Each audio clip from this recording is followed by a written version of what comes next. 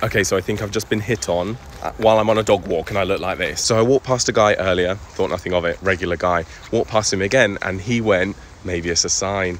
And my reply was, if you're going to hit on me, then give me warning and preparation to come up with a witty, charming, flirtatious reply because I literally just look like an idiot. Absolutely livid with myself.